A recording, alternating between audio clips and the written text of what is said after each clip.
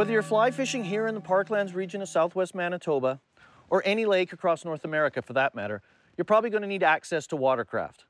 That could be a pontoon boat, float tube, small pram, or a big boat like I have here. In addition to your basic safety equipment, I'd like to walk you around my boat, show you some of the features I've incorporated. Perhaps you can use them into your watercraft as well and make your day on the water just that much more enjoyable. First of all, I love to fish in an anchored position. Find it comfortable, relaxing, great control of my presentations. You need anchor systems. And on this big boat, we need fore and aft anchor systems. This is a removable anchor system. It slides into the bracket here. I put the pin in, it's locked in place. It's extended, so the anchor, when I'm moving from point A to point B, it's not gonna clang and bang and accidentally hit the bow. It's got a nice cleat in here, so when I get the anchor in position, I just lock it in, it's gonna hold. I don't have to lose time or patience struggling to tie it off somewhere. As I move to the upper deck, I've carpeted it, indoor, outdoor carpeting. This muffles the sound and it protects your fly lines and things like that. If you drop them, you're not gonna step on them and grind them into the aluminum. So let's talk about the midsection. Not a lot here, but I've got two removable seats, so you can sit up in the center section in comfort if you perhaps don't wanna sit up in the bow section. And I've got carpet down here, again, muffles noise, protects fly lines from standing on them, and this carpet's removable. So if it gets dirty, muddy, I can just remove the seats, pick the carpet up, take it out, give it a shake, hose it off, or conceivably you could leave it in there and just give it a quick vacuum. Just depends on how dirty it is. So here we are at the stern of the boat. There's a lot of things going on here. I want to show you some of the features. I've got a carpeted upper deck, again, for noise reduction, uh, re reducing the risk of grinding your fly line if it accidentally gets underfoot. Using stainless steel screws, I've bolted down a, um, or screwed down a, a yardstick. I can use this to measure fish, leaders, anytime I need a ruler for anything. I've used some three quarter inch plywood, put a rubber coating on it. This covers the uh, open area here at the back underneath. I've got my starting battery, my outboard motor uh, gas tank, and two batteries uh, for my electric motor. Most of the trout lakes tend to be small, so an electric motor is a constant companion. I've got a 55 pound thrust motor. I recommend getting the biggest, powerfulest motor you can. Uh, wind, you got numbers of people in there. 55 pound is as big as you can go in a 12 volt system It's bolted to the stern. I've got some carpeting down here simply to protect the boat. Not all of the lakes I fly fish are small, and nor do I chase trout all the time. I love chasing walleye, pike, other species on the fly. A lot of times they're in big lakes. A big economical four stroke like this helps me get around. If the wind gets up and safety is an issue, I can get off the water quickly. So let's talk about my rear anchor system, my electronics. First of all, electronics, got my sounder head installed. So it's out of the way of fly lines connected to my power source, which is my battery underneath my uh, cover, and then a transducer cable. I'm using uh, a unique um, transducer mount that is magnetic, earth magnet. So I don't have to drill holes below the water line. And it just simply, I tuck it up out of the way when I'm towing, and I turn the wing nut, drop it down, so the sounder, um, the, sorry, the transducer is just below the water line of the boat, so I get a good reading, but it's not sticking way down, so if I run with the big motor, I'm making a rooster tail. The rear anchor system is a removable anchor lock. It just clicks in. It's got a dog system. I can raise this anchor one-handed if I have to. Should a fish get near the anchor rope, I'm worried about losing that monster to the anchor rope. I can just pull it up out of the way. And when I'm lowering it, it will just drop down, lock into position. I don't, again, I don't have to tie the anchor off. I move around with my anchors deployed for quick and easy anchoring. And at the end of the day, remove the uh, the mount itself, stow it away, off we go. Day is done, anchors are put away neat and tidy.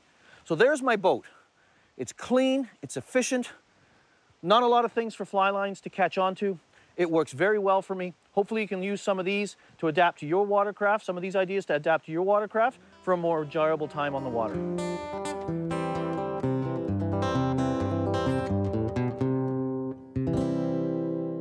Just anchored up here. I've got a nice bed of tules that the fish should be cruising in front of and along. I've anchored the boat with the wind at my back, the anchor ropes trailing out behind for a good purchase. And of course, when we catch a fish, always an optimist, um, that fish is gonna be hopefully battled out here and not going to get into the rope. So that's what we wanna do. We're just gonna cast towards the tules. We're in about six feet of water, going into probably five feet. So I've chosen a floating line, 12 foot leader, single balanced fly, in this case a balanced leech, not two flies because we're shallow. Two flies sink faster than one, and there's weeds in there. So when I hook a fish, or if we hook a fish, there's a risk that second fly hanging up and breaking off the potential trophy. That's the plan, that's the strategy. So let's give it a try.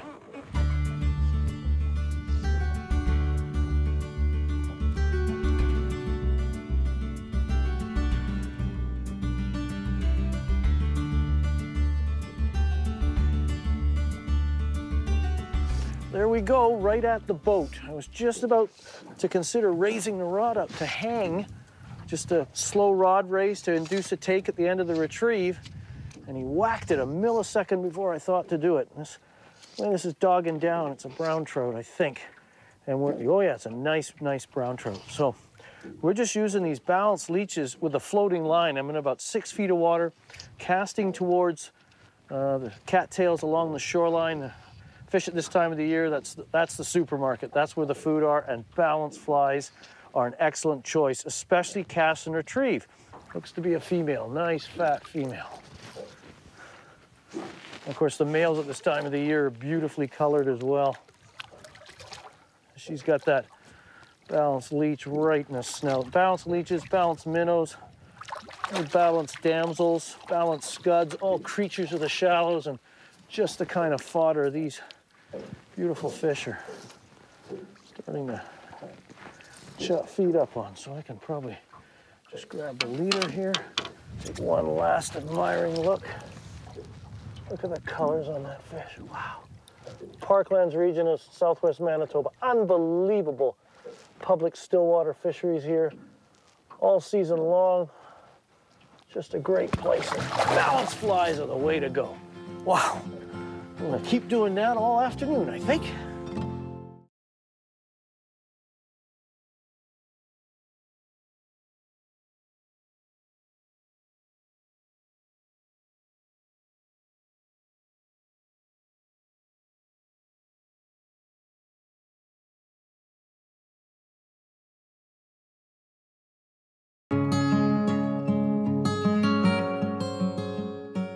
Parklands region offers a beautiful setting to cast a fly.